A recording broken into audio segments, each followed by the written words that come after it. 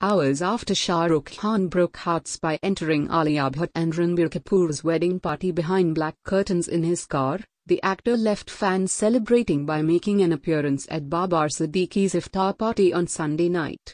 The actor made his way to the party wearing a smate Pathaani suit. SRK chopped off his long tresses, which he had maintained for months for Pathaan, and debuted his shorter hair look at the party.